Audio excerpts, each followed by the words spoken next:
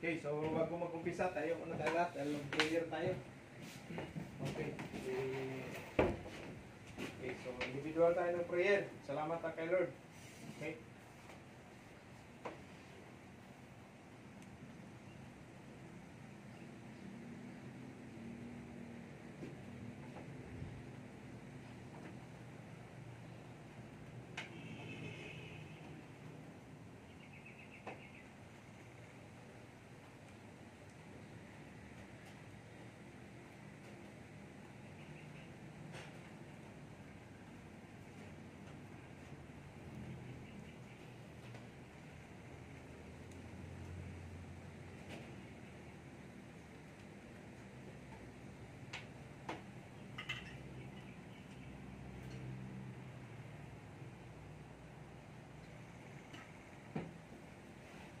Okay, so good morning sa lahat. Good morning, sir.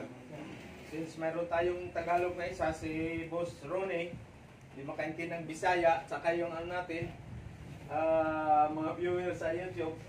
So, okay. So, good morning sa ating ah, subscriber at saka viewers. So, ngayon, October 30. So, mayroon tayong tatlong ah, dito ngayon, stay man sila. So hindi natin sayangin yung araw para ano kasi mga malalayo to sila ng lugar. Ito Sambuanga to eh, Sambuanga. Ah, Kalinga Payaw at saka ito naman Maynila si Boss Julius. So this morning, yung topic natin about sa gas welding, no? Gas welding. Ano ba ka-importante ang gas welding sa barko? No? Gas cutting at saka welding. Cutting and welding. Okay. Welding or soldering. No? Siyempre, pag uh, mga maninipis na mga ano niyan, sinusolda yan ng sil- silverat. No? So, using tayo ng oxyacetylene. No? Yung oxyacetylene naman, oxy and acy, ito yung gamit nyo sa barko. Ang purpose, pwede kayo mag-cutting, pwede mag-gas welding sa mga maninipis na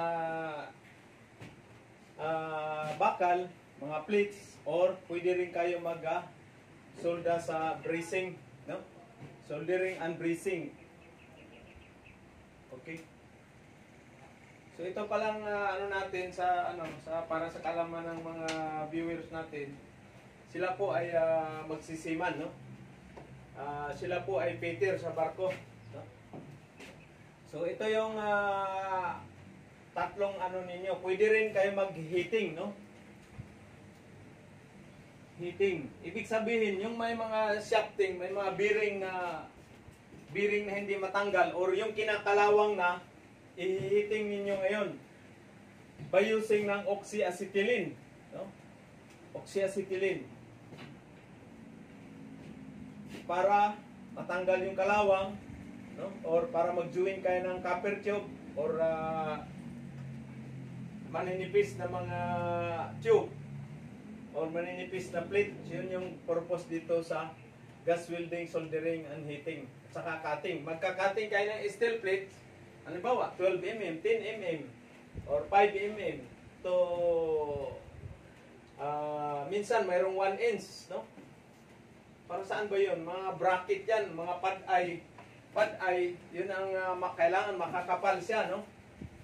So, pwede nyo siyang kakatingin ng oxyacetylene.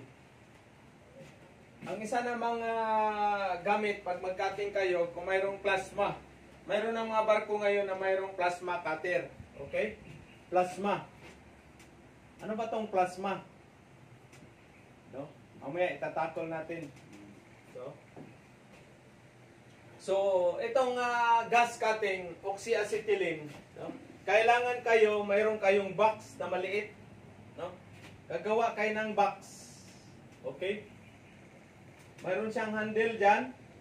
Kagaya nung ano natin dyan. Di ba may plates tayo dyan na maliliit? Yung sa baba. O yung sa baba, no? So ngayon, gagawa tayo ng ah, ano na yan, box, no? Assuming na ito yung box na ano ninyo. So ang size nito, pwede siya para hindi masyado bulky, pwede lang siyang 1 meter. Itong length nito, 1 meter. Okay? Gagawa kayo nito dahil pinaka-importante ito sa barko. 1 meter. Okay, by ito naman pwede rin siya ng mga 50 cm lang. No? So ibig sabihin 0.5 meter, no? Ito. Ito yung ano niyan. Ah, ito 50 cm. Ito naman 100 cm or 1 meter. Anong purpose nito? Ito yung height naman niya, pwede lang siya mga 10 cm, no? Ganun lang, no? 10 cm, no? Yung height, wala na tayong ano. Tapo na natin yung ano natin, bili tayo mamaya. 10 cm. Itong height, no? Yung height, ito yung length, ito yung width. Okay? Length, height, at saka width, no? So, ibig sabihin, maiksi lang yung height niya. Ang purpose dito kasi, lalagyan siya ng tubig, no? Lagyan mo ng tubig, dito mo ipapatapat yung kakatingin mo na plate or pipe. Para yung apoy dyan, pagbagsak, automatic siya, mamatay ka agad kasi may tubig man. Para hindi mag-spread kasi pag nagkating ka lang dito ng oxyacetylene, tapos nandyan ang papatak sa flooring, may tendency na tatalsik yan. Kahit saan saan ang direksyon ng talsik ng apoy, di ba? Dito, pag tinapat mo yung plates dito o yung pipe mo na kakatingin, o ano man kakatingin mo dyan, nandyan siya, babagsak yung apoy automatic dito sa, ang tawag nito, ha? Box ng steel, steel box, steel plate box. No? Box, water box, ika nga, no? Or la, ah, water. Cutting box, no? Kasi lalagyan mo siya ng ano eh, lalagyan mo siya ng ah, tubig. Okay, pagkatapos mo ng ah, cutting yan, lilinisin mo, isisecure mo naman, itabi mo naman siya. No? Itabi mo naman. Para ang purpose na to talaga, cutting box. Pero yung ibang ah, mayroon akong barko na sinampahan, ginagawa din nilang ah, ano, linisan ng ah, mga parts sa purifier, mga disc, no? Ang gagawin ninyo, magawa kayo ng ah, ganito pa na isa or dalawa panglinisan ng mga parts sa boiler sa ah, boiler sa purifier. No? Mga disc kasi yan, diyan ano eh, binababad yung diesel. Yung diesel nila ditang minsan hinihiram to sa ano, hinihiram ng mga engineer o oiler, gawin nilang ah, linisan ng mga kayo kaso na nagkaroon ng langis. Langis ba? So, ang gagawin nyo, gagawa kayo ng tatlo. Ito, three pieces. Okay? Isa ang sa purifier room, isa yung hugasan ng mga filter. Kasi yung mga filter sa fuel filter sa generator at saka main engine, dito ninyo i ano, papasok diyan, no? Papasok dito. Ano siya, hindi kalat yung dumi. Kasi pag naglilinis kayo ng ah, filter na yan sa purifier or yung mga fil- filter sa generator or sa main engine, dito ipapasok.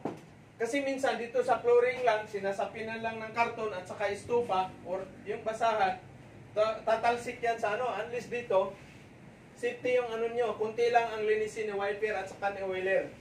Kaya ito sa importante ito na box, no?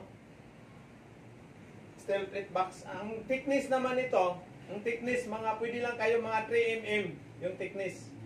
Pinakamala ano na yung 5 mm. Karamihan niya 3 mm lang ginagawa ko para magaan lang na hankiri lang siya. Kahit saan man kayo, dadalhin nyo to sa pupa.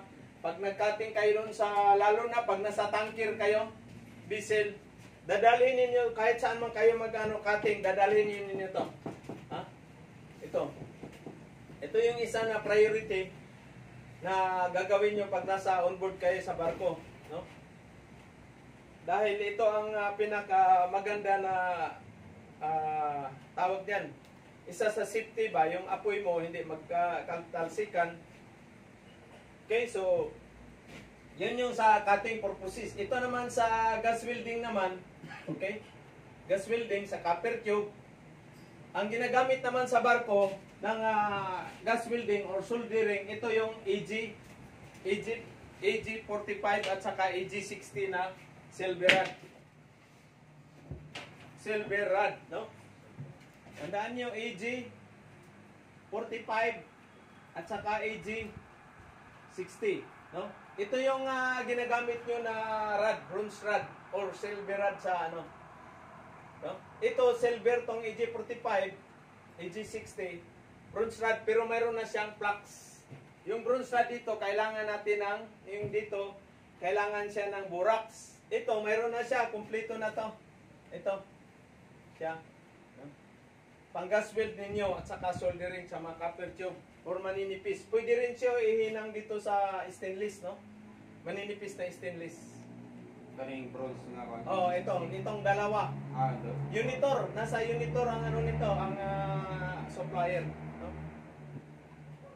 Okay? So sa heating naman, o siyempre, heatingin nyo yan, gamitan nyo ng heating torch. Mayroon tayong heating torch or yung cutting torch niya. Pwede rin yan. Pero na, may specified talaga na ano pang heating. No? Re-request ka niyan. Kasama naman yan, isang seat. No? So ang PPE na gagamitin nyo, kailangan goggles, number one ha. Goggles. Tapos pag nag-welding, gas, uh, soldering kayo, gagamit kayo ng mask. Ito kasi masakit sa ilong tong ano, silver bronze rod. No? Masakit. So, kailangan nyo ng mask. No? Yung ano ba, kahit yung dust mask lang na cover lang protection sa mata ninyo. Ganon din, itong plasma naman, ang plasma is pang-cutting ng stainless ito, number one, no? Pero pwede rin siya mild steel. Okay? Mild steel at saka stainless steel? So, ang gagamitin nito, ah, machine nito siya pero mayroon siyang compressor, hangin, no? So, pe- kailangan talaga required dito PPE sa mata. Kasi mataas ang ano niyan, pressure niyan, no? Ah, ano yan sa automatic na yan sa, di ba? I- Parang ano rin, parang yung ganang uh, ipkaw, anang ano na yan, ah, Jimaw. Ganon Ah, din, pag i-press mo yan, mamay, ba, sa Monday, ah, bukas, kung may ano tayo, mag-ano tayo sa ano to, yung plasma cutting. High pressure yan kasi may nakakunik ito sa hangin, compressor, no? Plasma cutting. No? Machine or equipment. Ito pang special talaga sa stainless at saka aluminum, no? Kasi yung stainless na to, hindi mo makakating ng oxyacetylene yan. Okay? Aluminum. Itong aluminum din, hindi mo rin makakating yan sa oxyacetylene. So, ang ah, pag wala kayong plasma, pag cutting kayo ng ah, stainless steel at saka aluminum, ang gagamitin nyo naman is grinder, no? Grinder. Cutting disc. Okay? Pero mayroon siyang ano ha, mayroon siyang pang stainless na ano, stainless na cutting disc at saka yung ah, aluminum. No? Almusal ba kayo lahat? Almusal na? Rex, almusal na Rex. Special pala yung ano natin, mga tatlo ngayon na ano natin, malalala yung lugar to. From Zamboanga, from Tabuk, Kalinga, Payao, at saka from Manila. Kasi yung iba, nagbabakasyon pa. No? O shout out sa ating mga Peter na nagbakasyon. Pa-relax, relax muna kayo dyan. Okay? So, itong topic natin, very important ito. Kasi it- ito yung trabaho sa barko na ah, isa sa pinaka-importante. Hindi kaya pwede maging Peter pag wala to sa barko. No? Okay? So, ang PPE na gagamitin, okay, number one, goggles. Okay? My God, tayo ng ano tayo sis. PPE, ano ba ibig sabihin ng PPE Rex? Okay, personal protective equipment. Number one, goggles. Tayo kay misis mo ano, norok yung ano natin. Tuyo, mainit kasi sa office. No? Goggles. Okay, mask. Or facial. Okay? Bakit kailangan may facial, sir? Siyempre, protection yan sa mukha. Kasi ang goggles, dito lang, mata lang ang naproteksyonan ninyo. Pero pag facial, cover yung buong mukha mo. No? Okay? Ano pa? Siyempre, yung mga ano ninyo, coverall at saka safety shoes. Okay? Guantes, gloves, no? Welding gloves. Okay? Welding gloves. Okay, yan yung mga PPE na gamit. Overall, shoes. Paul, sanayin ninyo pag ah, nasa engine room kayo, ha? Kailangan sanayin ninyo sarili niyo na naka-coverall or boiler suit talaga kayo. Huwag kayo mag-t-shirt, t-shirt lang, ha? Huwag kayo mag-chinilas. Bawal na bawal yan. Okay? Kailangan, walang init-init. Ika nga, yung uh, attire ninyo ngayon, yun yung ano niyo sa barko. Okay? Kailan kayo pwede magbihis ng ano, during coffee break? Huwag kayong umakyat sa miss hall na naka-coverall. Ha? Ang bawal isa. Bawal yan. Okay? Pag break time ninyo, sa miss hall, kailangan magbihis. Okay? Bihis, kailangan naka rubber shoes or naka sandal. Yung sandal nyo pala, yung ah, mayroong ang angko, ankle support dito. Huwag yung ah, yung five finger na ano dyan, huwag kayo niyan. Bakit? Anong purpose? Kaya, ano pa? Oh, kasi during emergency, yung chinilas na yung ano niyan, pangkubita na yan, pag takbuhan yan, hindi ka makatakbo niyan ng maayos. Okay? Mayroong barko na binabawal yung ano na yan. Kailangan mayroong kayong sandal yung ah, parang crocs, mayroong ankle support dito. Parang Or asanayin ninyo magsapatos. Parang sapatos ang Oo. ano. Ako sa pag na, nasa running bisil ako hindi minsan ano ko ah, ano talaga sapatos talaga. Paglabas ng kabina, pag kumakain naka-shoes talaga. Kahit naka-short man kayo pero naka-shoes. Oo. Hindi naman yung safety shoes ha. Yung shoes na rubber shoes natin, kailangan malinis.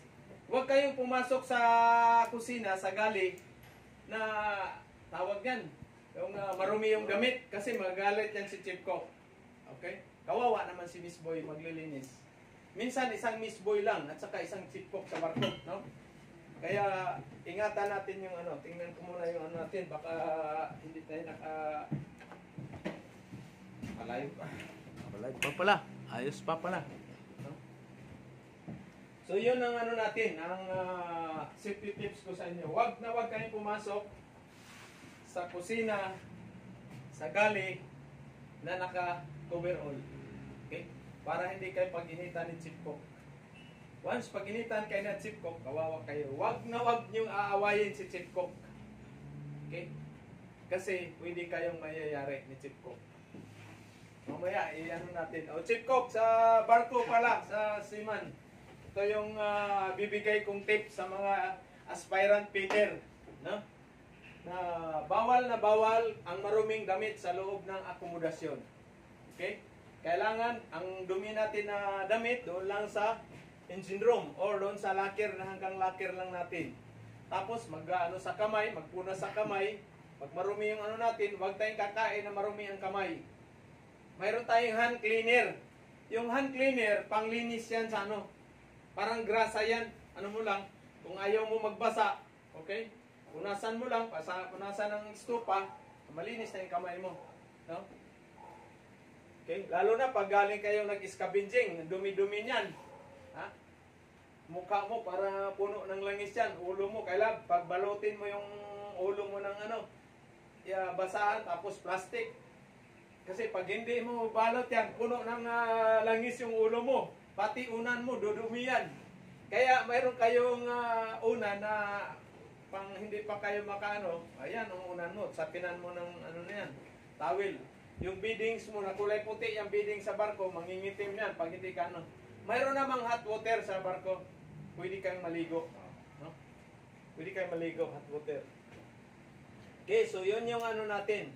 Sa gas welding, cutting, gas welding, soldering, heating. Okay? So yun ang ano natin. Pag sa heating naman, ha? Heating. Halimbawa, pag heating kayo ng bolt, no? Ito yung bolt. Okay? Yung nut, kinakalawang na. Okay? Kinakalawang na. Kalawang, talagang kalawang dyan. So pag hindi siya matanggal, hihitingin mo ngayon yan. Okay?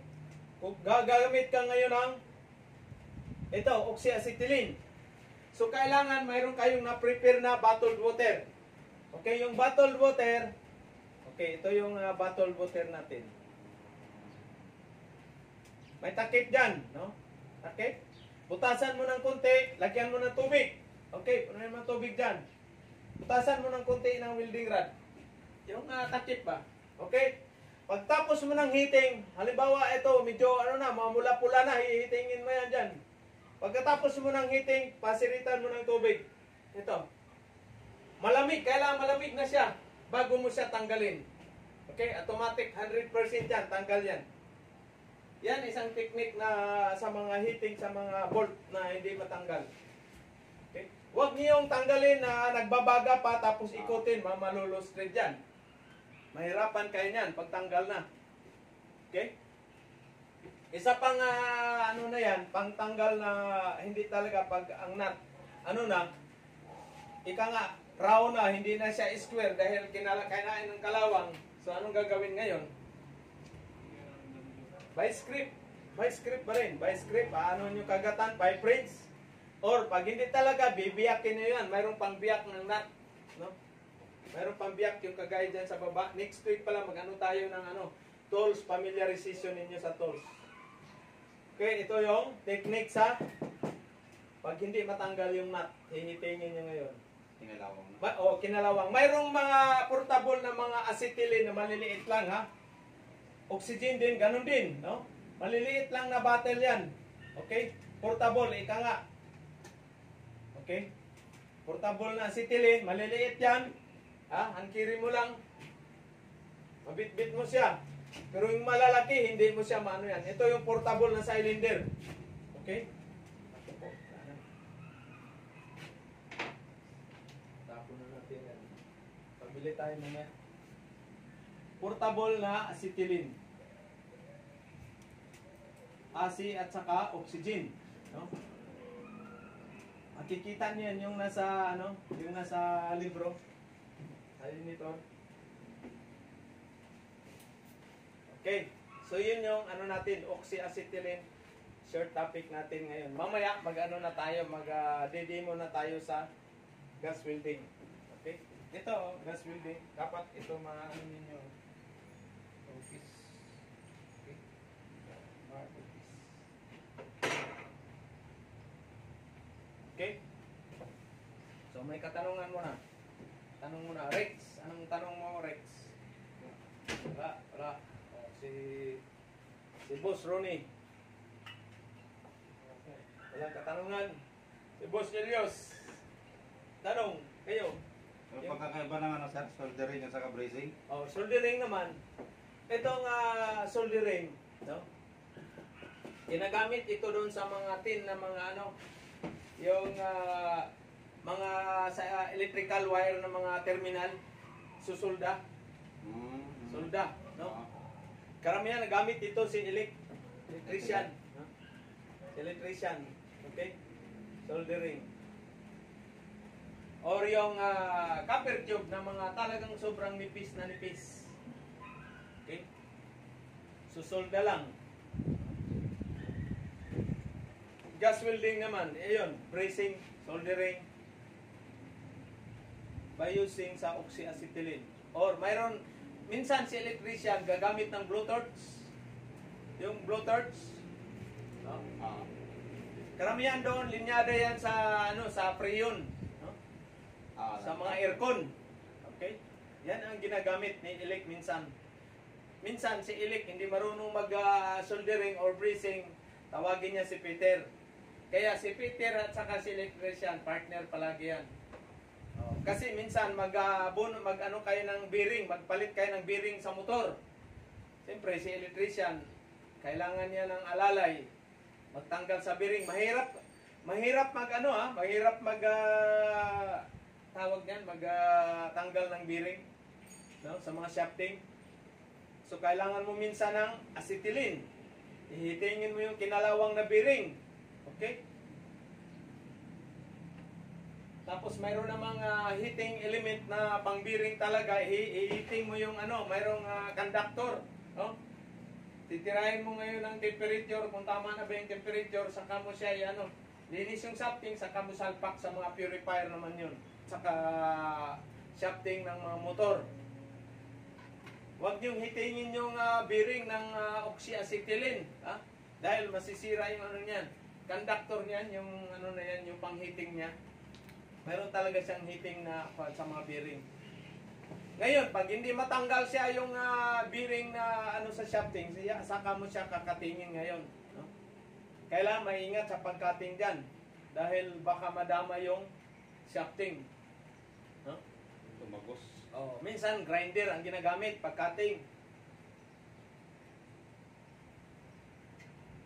Yung sa mga purifier, no, shafting.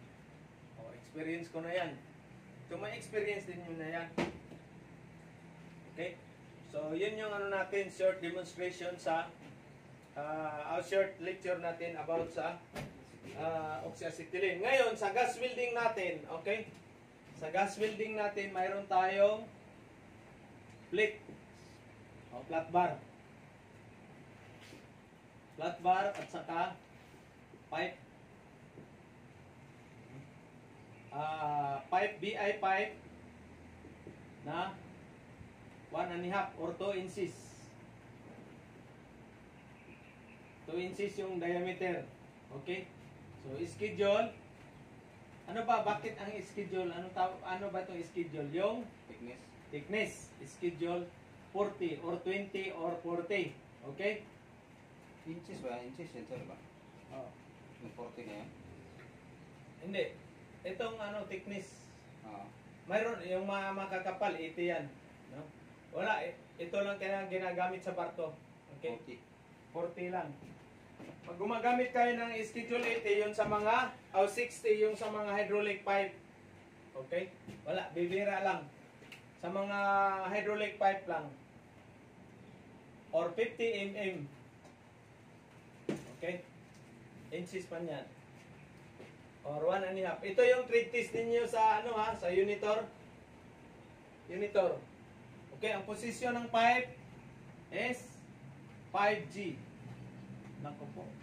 Mo na. Okay, i-off muna natin. Ilang minutes na ba to? Oh, 27. Off muna natin.